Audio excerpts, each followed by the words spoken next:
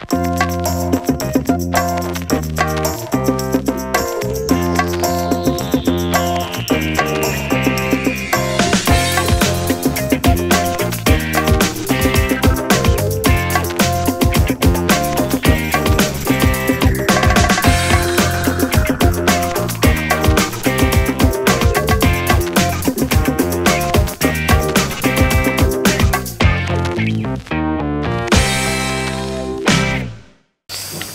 Hi guys, how's it going? Thanks for getting up early, coming to see me talk.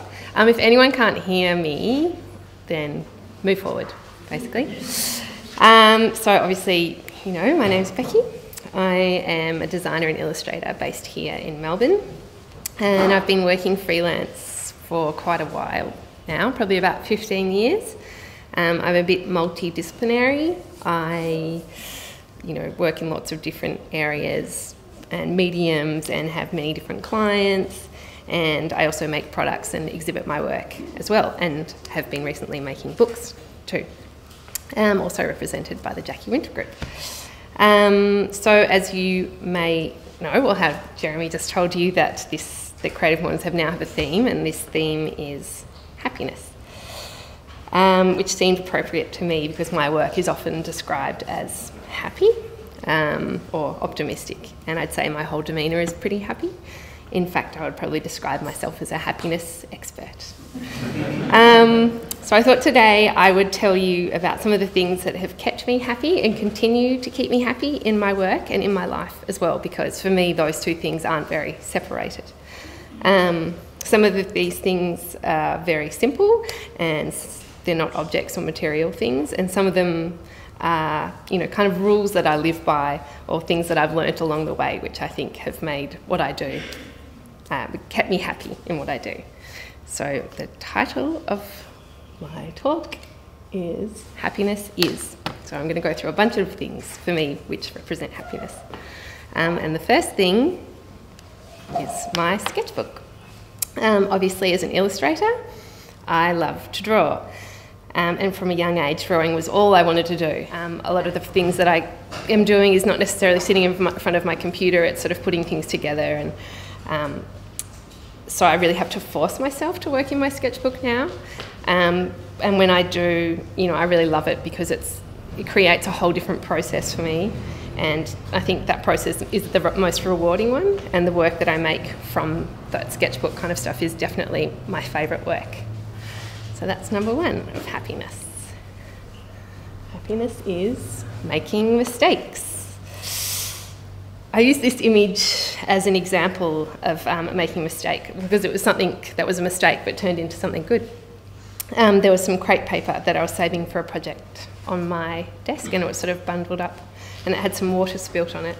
And so um, but when it dried and the way the colours bled into it, I think it made it way more beautiful. So it was a, it was a happy accident, I would say. Um, you can learn a lot from mistakes. And if you don't make mistakes, perhaps you're not trying hard enough or pushing yourself hard enough. Um, and I've got lots of good examples of mistakes in my life. Um, I ran a clothing label called Princess Tina which I started in, I think, around the year 2000, and I finished off in 2009. Um, that's some bits of Princess Tina. Um, I ran it with my partner Raf. He did all the, I did all the design and selling, and he did all the manufacture and production and sort of other bits and pieces. Um, I guess it was a fairly successful business. There was a demand for it. You know, we had Princess Tina fans. Um, we would sold to a lot of stores overseas. We manufactured offshore. There's you know a whole lot of things that sounds like it was a fairly successful label. Um, but I guess the whole time I was doing Princess Tina, I was still doing freelance work as well, and freelance work was the thing that still kept making, making the most money and sort of paying our rent and doing like that. But we still kept doing Princess Tina. Um, and I think the reason that we didn't make a lot of money from it was because a little secret, we completely sucked at running a fashion business. completely. Um, we were always running late with our designs. We were constantly pleading factories to make samples for us because we were running late with our designs. Um, we often showed our collections, you know, one month later than everybody else, which is a really bad thing in the fashion industry because shops have budgets and they need to align those budgets to people. And if they don't know if they want to buy your things, then, you know, they can't hold on to budget for you. Um, when the product arrived, we were generally late in delivering it. Um, we did things like we took big orders from overseas stores that we knew nothing about, didn't take deposits, then delivered stock and never got paid. Um, lots of things like that. But of course, we didn't realise we were bad at it until we stopped it. And it was about one year later after we had finished the business. And Raf had decided to start his new business, which was his first truck, Beatbox Kitchen. And I, you know, then my freelance work had doubled and we were, you know, things were going really well. And we kind of looked back over the past nine years and we're like, what the fuck were we doing? um, so Princess Tina, in short, was a big mistake, really. Um, a fun mistake, a mistake that led us to doing, you know, lots of partying and lots of overseas trips and to meet great people. A mistake that perhaps helped us in other parts of our business and definitely helped me creatively as a person. But really, it was a mistake. Um, but of course, we did learn from this mistake. And we learnt that, first of all, our combined personalities were really bad at running a fashion business. Um, but it also showed us what our strengths were. Um, and of course, there's been lots more mistakes since then. And I've learnt much from them as well. Um, and I think those mistakes were as important as formative as all the successes that I've had as well.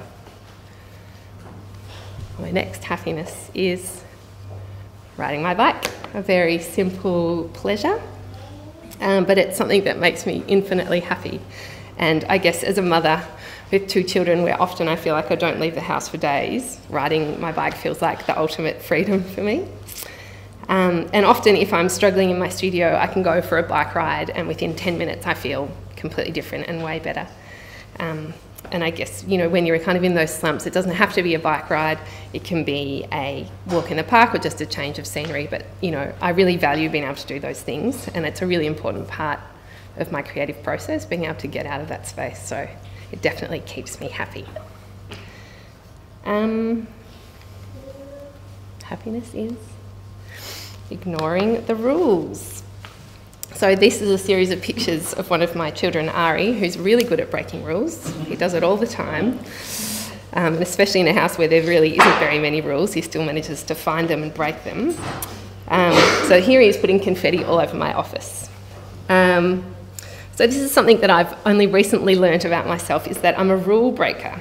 I never thought of myself as a rule breaker. I was a pretty rebellious, crazy teenager, but on the whole, I think I'm a pretty good citizen, so rule breaker didn't really sit with me. But then the more I thought about the way things have gone for me, the more I discovered I, I was a rule breaker. So I guess in the late 90s when I was studying, I was really, I studied textile design at RMIT.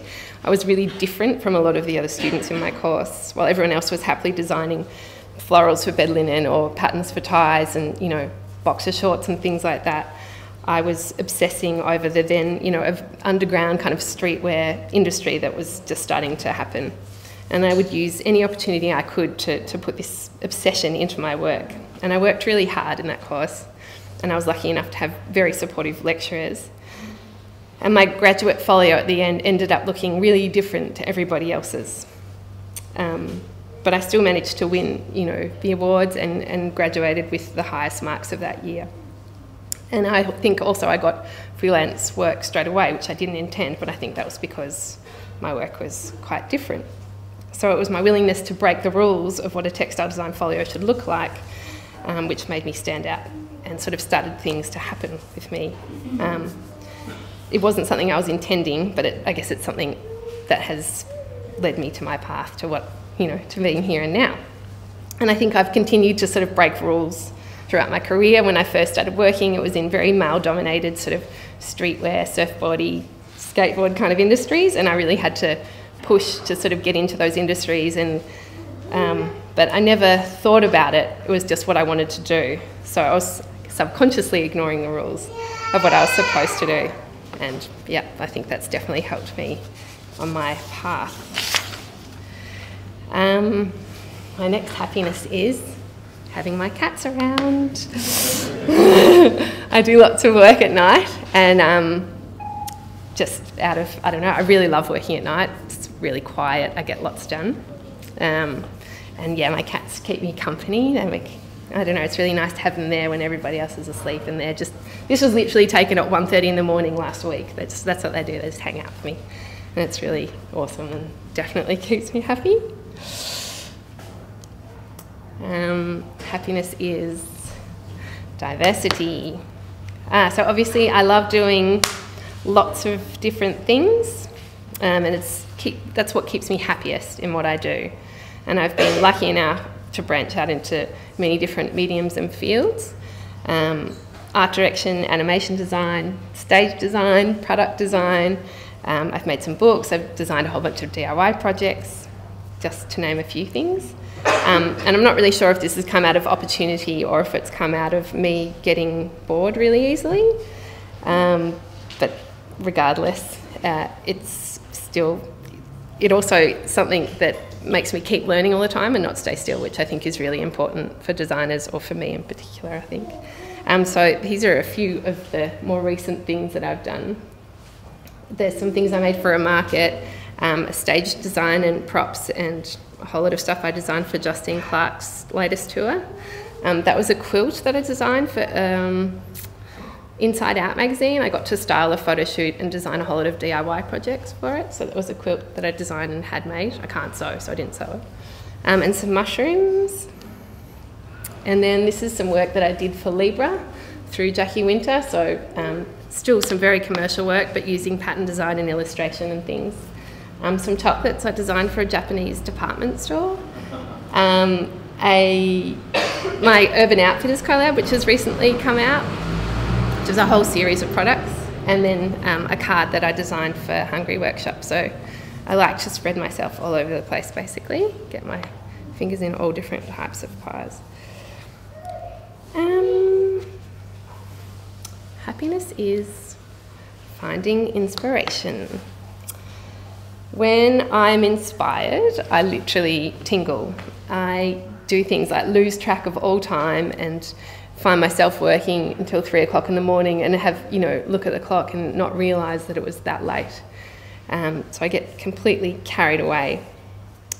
And it, for me, as a designer, that is the absolute best feeling. That sort of being caught up in something which is really you're really excited about. Um, there's endless places to find inspiration. Um, in fact, I recently wrote a book about it, so you should go and buy it. and then you can find out all about inspiration. um, I think also as a creative person, you get to do things like visit exhibitions and look at blogs and read books and waste time on Pinterest and Instagram and find images like this. and it all counts as work, which is amazing. um, that, you know, being able to find things like that makes me really happy. um, happiness is community. I took this photo of some of my friends at one of my um, partner's food trucks one night. And he's done a really great job of creating community. But I think we're really lucky to live in Melbourne. Um, we're supported by a great creative community that will turn out in droves to support markets, workshops, exhibitions, gigs, food trucks, talks, um, running your own race. So obviously the design industry is a very competitive industry, as, as are lots of different industries. Um, and it's really easy to compare yourself to your peers, you know, especially if they're doing well, or perhaps they got a job that you really wanted, or you know, it's really easy to feel jaded and ripped off. Um, but I think that kind of feeling is a really big waste of energy, and it will get you nowhere. Um, for when I first, um, just after I graduated, I was lucky enough to share a studio with two friends of mine who were starting a clothing label. And it was right at the time when they were starting their label, and it was a really exciting time for them. And almost every day I used to walk into the studio and there'd be like, you know, some amazing hookup with some person that we'd all mutually admired from overseas was, was giving them props or hooking up with them or you know some huge box of like bathing ape clothing would turn up for them like there were just all these amazing things were happening for them all the time and of course i was genuinely thrilled for them but on the inside i was completely teeming with jealousy um, you know, we'd graduated at the same time. It didn't make any sense why, why was all this stuff happening so quickly for them and it wasn't happening for me. But then one day I decided that actually, you know, I was really lucky to be around this and see all this stuff happen. Um, and that I could actually watch and learn from it and be inspired by it um, rather than be envious of it. And when I did that, things started to happen for me too, but at a completely different pace. And it didn't matter because I'd stopped worrying about what other people had, were doing and just made sure what I was doing, I was just making sure I was doing a really good of what I was doing, good job of what I was doing. And then st- things started to happen. Thank you.